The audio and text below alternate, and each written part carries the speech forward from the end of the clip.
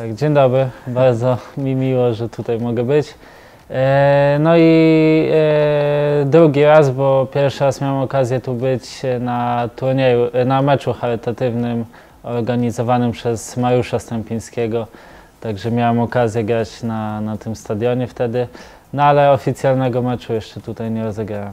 Tutaj kontakt ze strony Widzewa był już wcześniej, jeszcze w okienku transferowym, ale do końca gdzieś tam toczyły się rozmowy między mną a, a Piastem Gliwice, żeby rozwiązać kontakt.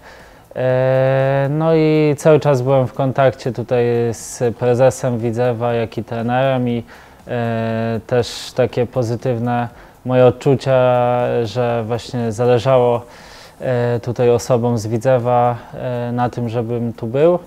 E, No i to też e, zaważyło na tym, że, że zdecydowałem się na ten krok i, i właśnie w ostatni dzień okienka udało się mi rozwiązać kontrakt z Piastem i e, dzięki temu mogę tutaj jako wolny zawodnik podpisać kontrakt.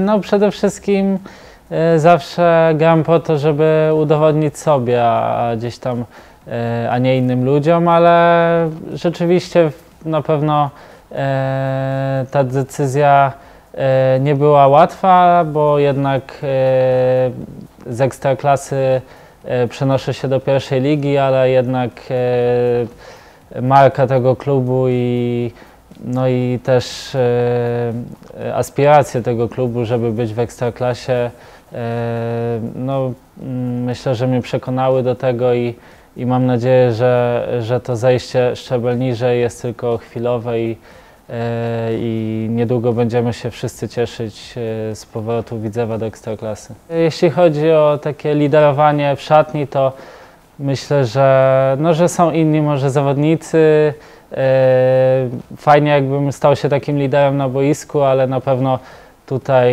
e, w szatni gdzieś myślę, że tutaj będą jakieś osoby, które są dłużej.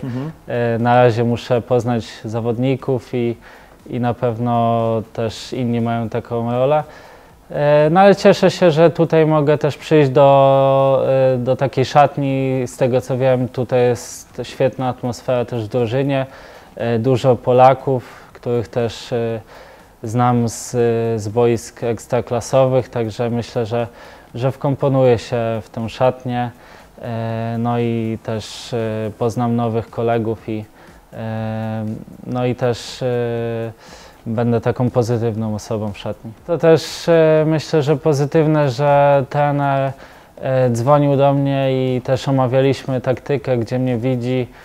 To też właśnie dało mi dużo do myślenia, że tutaj e, jakiś jest pomysł na moją osobę i rzeczywiście ostatnio Widzew grał w takiej taktyce z trójką obrońców, można powiedzieć, e, dwójką środkowych pomocników.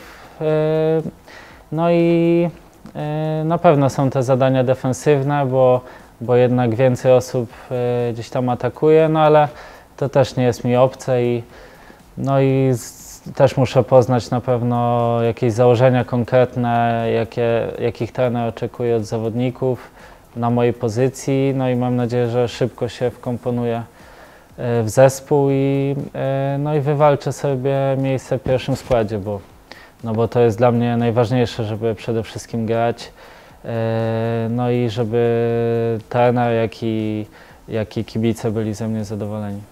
Moimi mocnymi cechami jest e, kreowanie sytuacji e, w ofensywie i e, dobry stały fragment gry. E, no też nie chciałbym mówić o jakichś tam mocnych cechach, no bo to każdy może mówić, a później e, wszystko boisko weryfikuje, także e, możemy ocenić za, za tam e, kilka miesięcy jak to będzie. No ale na pewno już jestem doświadczonym zawodnikiem, ale jednak głodnym gry, bo, bo właśnie ostatnie e, miesiące grałem e, mało, także już nie mogę się doczekać, jak, jak spotkam się z drużyną na treningu, a później w meczach i, i szkoda, że tak późno dołączyłem do drużyny, ale no lepiej późno niż wcale.